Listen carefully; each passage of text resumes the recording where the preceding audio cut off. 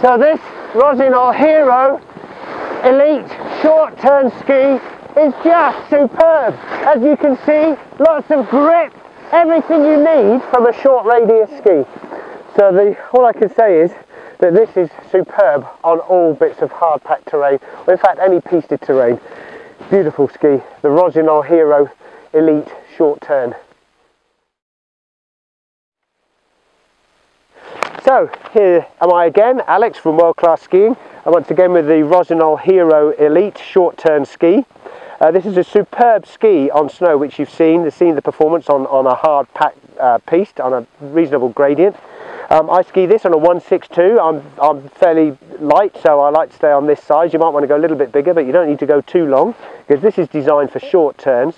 It's got a, a, a tip uh, size of 122 millimeters, a waist size of 68, and a tail of 104. So it's got quite a side cut, and it's got a turn radius of 12 meters. So really quite a nice, grippy, tight turning ski.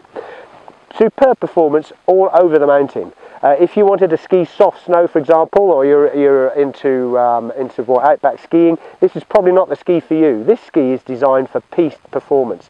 So if you want to get some cracking turns, some really grippy shorts, and, and also some good long turn radius uh, turns get in there, get this Rossignol Hero Elite. This is the uh, superb model, and I must say, I'm, I'm in love with this ski. It's brilliant. Thank you for watching the world-class skiing uh, ski review on the Rossignol Hero.